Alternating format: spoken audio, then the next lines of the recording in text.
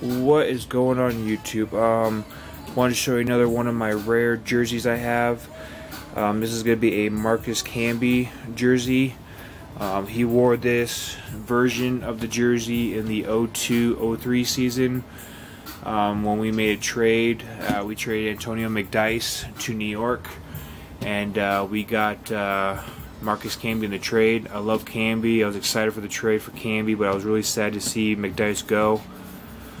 But during that year, the Nuggets really didn't have any big men, and Camby was in his prime, and uh, so the Nuggets went for it, and uh, we got uh, Marcus Camby. But this is just like my Nene I made a video of. It's got the same tags. It still has the, the original tags when I bought the jersey. Uh, when I bought this jersey back then, I paid $115. Uh, as you can see, this is adult jersey, authentic, authentic jersey nuggets. It's got the authentic hologram, the hologram number, so you can actually look up that number and it'll tell you that this is 100% authentic. It's not a knockoff, it's not a remake.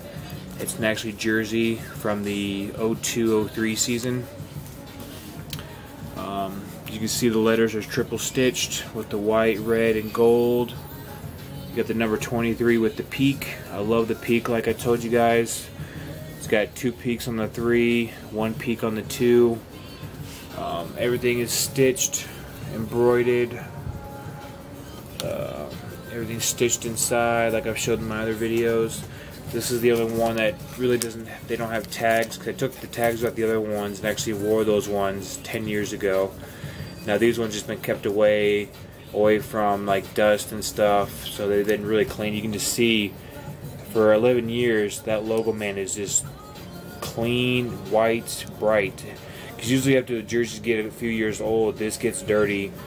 But I put my jerseys away, keep them away from dust, and then it looks brand new like it did in uh, 2003, 2004 or 0203 when the Nuggets or when Camby played for the Nuggets in the 0203 season. But it's just like the other my Juwan Howard and my Nene Hilario. It's got the splits and the splits on this side, and you can see it's got stitching along the split, so it keeps it intact. Um, it's got the Authentics NBA logo man, the number, the size of the jersey, and then. Uh, Reebok Team Apparel. This is my all-time favorite uniform, so I have a lot of the players that I really liked back then in this jersey. And then as you can see, it says Camby. The letters are single stitched. Then you got the big number on the back with the big peak.